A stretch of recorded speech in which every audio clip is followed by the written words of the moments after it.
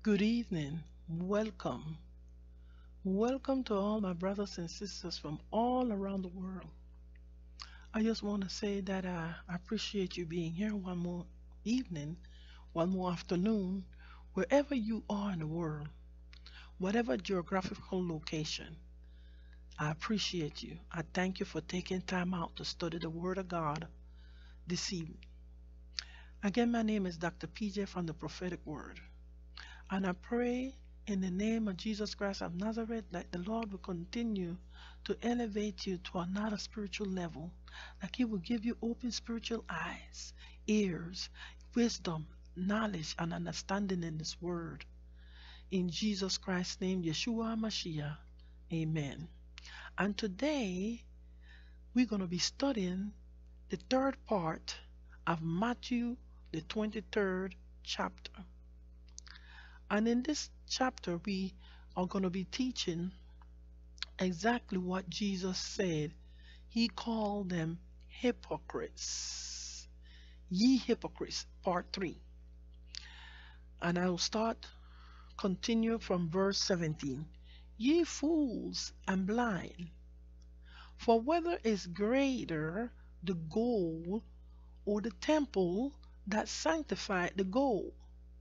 And whosoever shall swear by the altar is nothing, but whoever whosoever sweareth by the gift that is in it upon the altar, it swear by it, it is he is guilty. So what the um, the, the Pharisees was saying and the scribes that back in those days, even on today, whosoever swore by the gold or by the saint in the church or by the cross.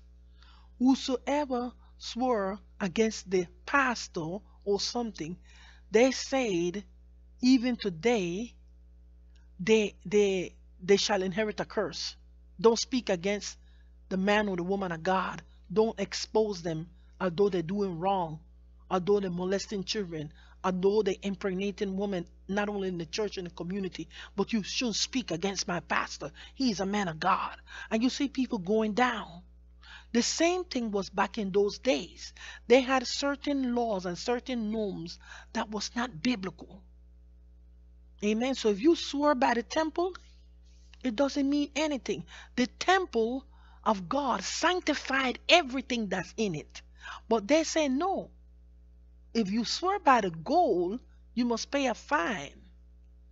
And whosoever swore by the altar is nothing. You can curse God, you can curse the altar of God, but whosoever swear by the gift that is upon the altar, then that person have to pay a fine.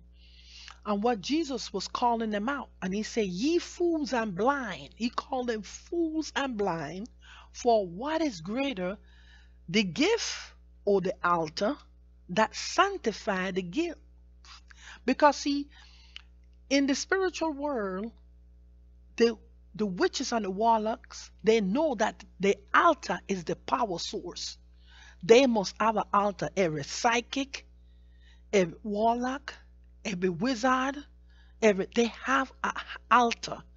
That altar, wherever they're burning candles, wherever they have an effigy, wherever they have an idol, but they have an altar because for the kingdom of darkness, they know that their altar is their power source.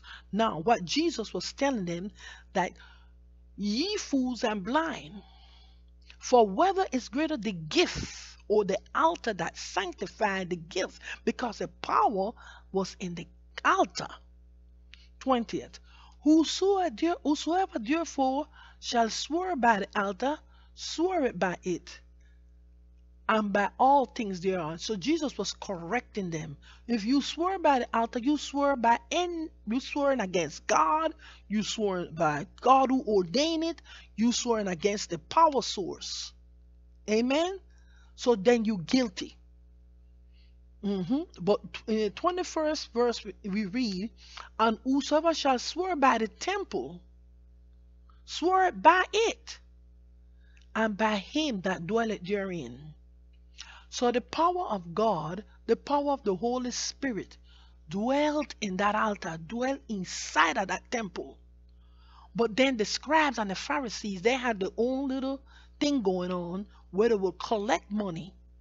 They would have fake witnesses, where they would take people land, where they would devour the properties and the wealth of the widows, where they would go around and make up all these laws. And they, let's do this today. They, there was just spiritual gangsters spiritual pimps and we have them today claiming that well like they are the ones that god ordained but you are a royal priesthood remember that verse 23 it say woe unto you scribes and pharisees hypocrites for ye pay tithe of mint and anise and cumin which is very cheap and have omitted the weightier matters of the law which is judgment mercy, faith. These things are ye to have done and not to leave the other undone. So they was having people to come in and give them their wealth. But they themselves was not even paying their tithes to God. They was they was they was paying with mint, you know, the little mint leaves, the little anise, little star anise, or the little tiny, or the little cumin. They was throwing little stuff like that. So you see, what God is symbolic of saying, they do little things, but then they omit the greater things. And that's what happening today when they teach the word of God. They omit certain things. What is important for us to be stronger in the spiritual realm, to be able to recognize the devil and, his, and the devilment and the, and the season that we're in now. So they omit it by teaching you logical thinking, sociology, and just entertain you and ride you out with motivational speaking while the meat of the word is to strengthen you, is to empower you, is to elevate you to a higher spiritual level. But they tie you down and you squeeze you down because they don't they don't have they don't they don't they omit the matters of the law of God, the judgment of God, the mercy and the faith they don't teach you none of those things. And in verse 24 jesus say ye blind guides were strained they will strained at a gant and swallow a camel. They will look and, and strain their eyes at this little little thing called gnat. You know you see them sometimes you see them in, in the flies.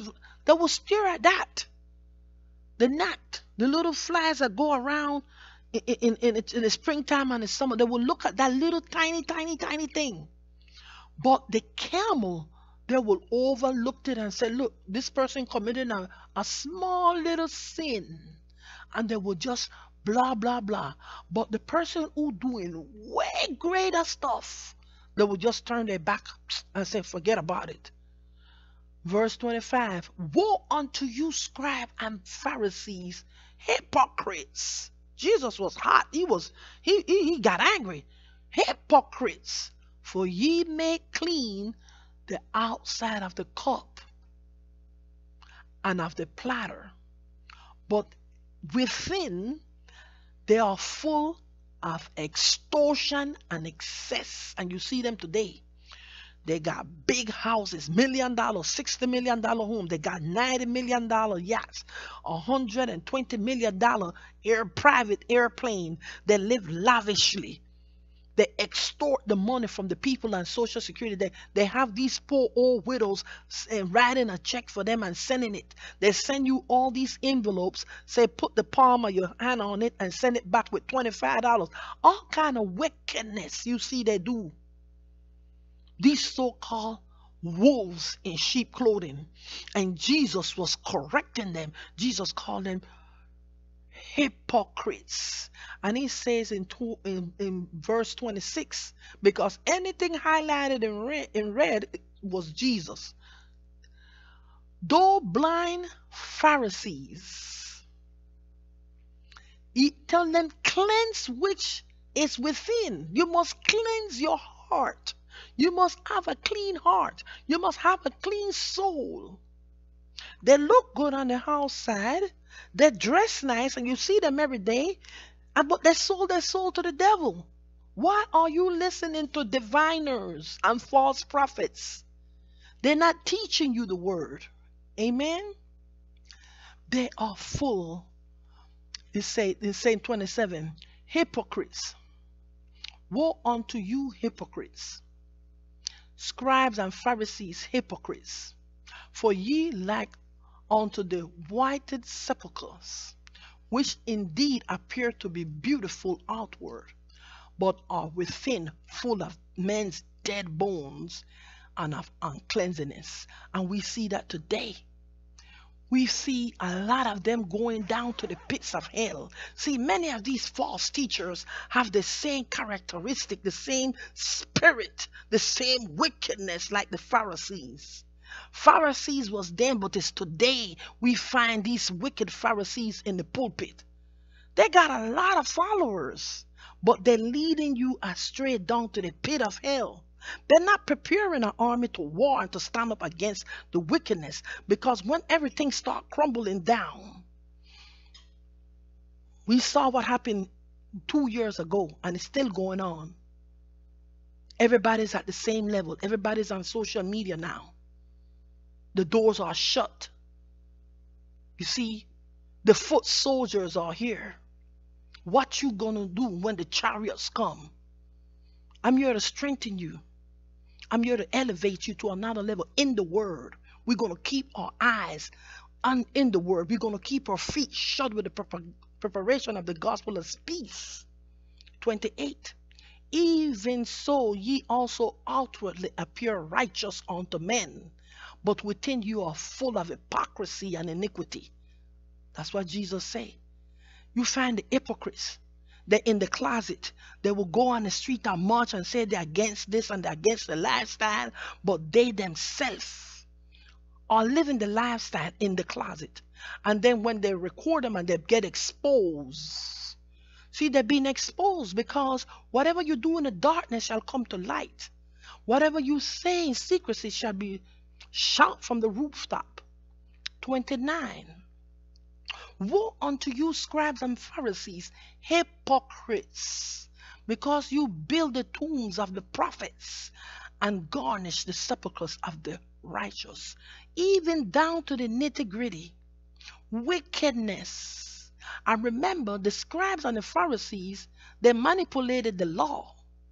They did rituals and they kill the true prophets of God. They murder the people of God, the true prophets of God that they were supposed to to to to to come to the people. These scribes and Pharisees, these are the Sanhedrin councils. They're the one who grabbed them and murdered them and buried them. Jesus does not lie. This is the truth. And then they garnish the sepulchre of the righteous.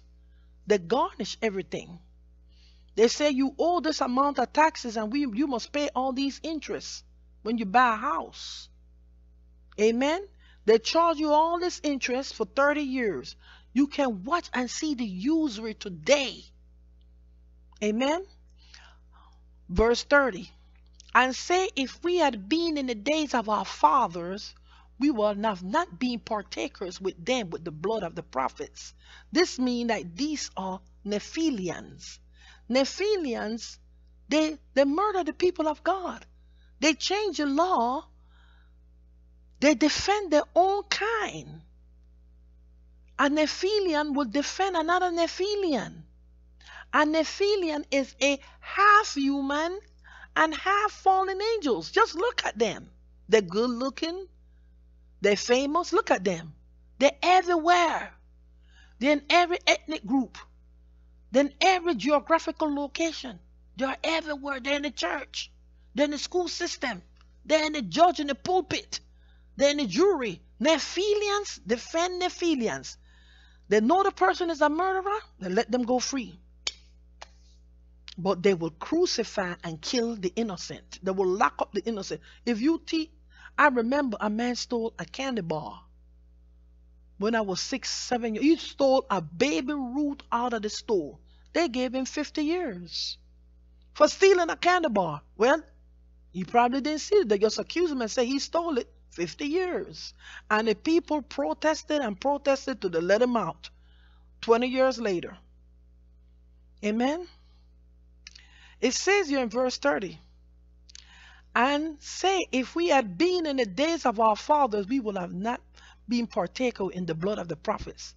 31. Wherefore ye be witness unto yourself that ye are the children of them that killed the prophets, children of the murderers, Nephilim, half human, half fallen angel, children of the giants. That's what they are.